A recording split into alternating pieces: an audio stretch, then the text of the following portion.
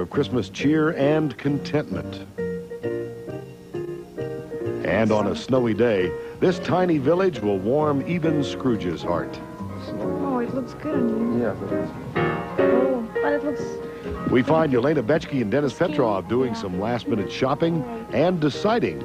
Elena seems to be taking charge during this shopping spree. This is spree. my favorite. Oh, Denis, we found something for you. I'll try it first. Do you want a larger one? Cool.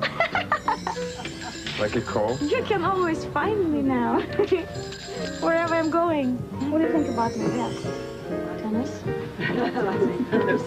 I told you, you need a bone in your hand. Look at her. Look at Jimmy with it. You look like...